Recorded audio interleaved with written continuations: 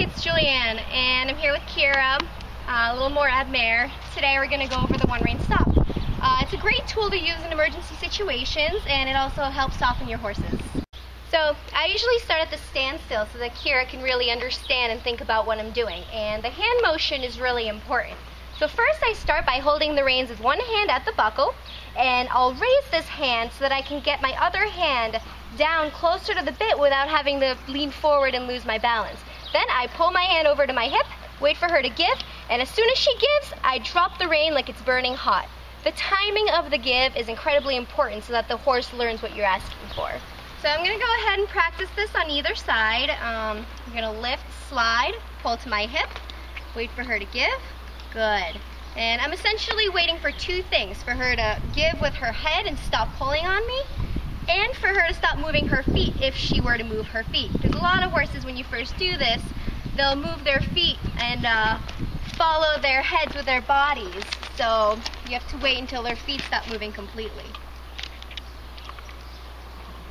And I'm going to make sure she really gets the hang of it on either side. Good girl.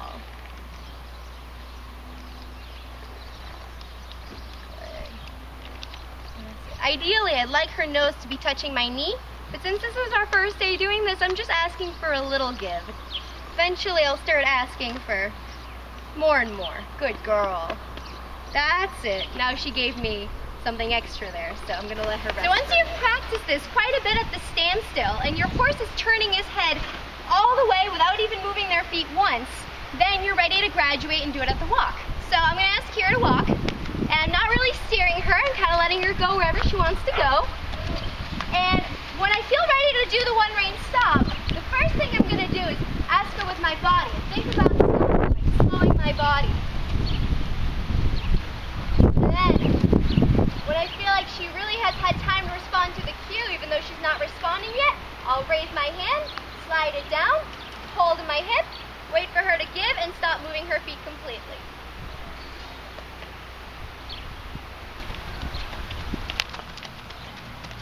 Sometimes I'll even use a vocal command to let them know I'm ready to stop. So I'll say ho, make myself heavy, then use the one rein stop. Good. And I like to do at least three or four one rein stops before asking for the walk again, so the horse doesn't anticipate.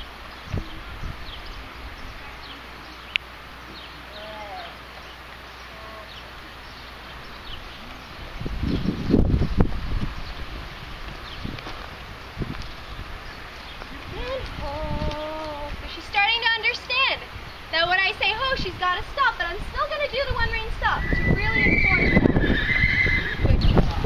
Okay, so once you've been doing this at the walk for a while, and your horse is comfortable with it, next step is the trot.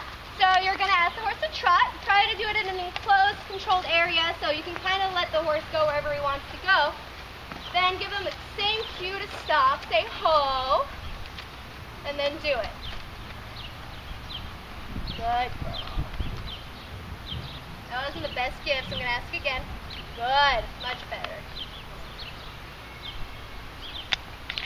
That's it. Do three or four before starting again. And make sure to mix it up with the walk and stand still so that your horse doesn't anticipate, you know, trotting off every time. And as you can see, she already just stops by listening to my body. I don't even need to do the one rein, but I still do it to really, really get her used to it. So I'm practicing this exercise in a really controlled environment so that once I take her out of that controlled environment, such as on the trail, if I ever need to use this exercise, Kira will know what she's supposed to do. She'll know to stop so, and give. Good girl.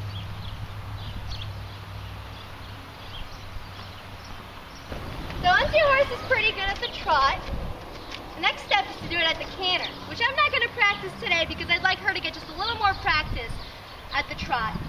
Um, but when you are doing it at the canter, if you're cantering quickly, make sure to not yank the horse's head so fast that they lose their balance and risk falling over.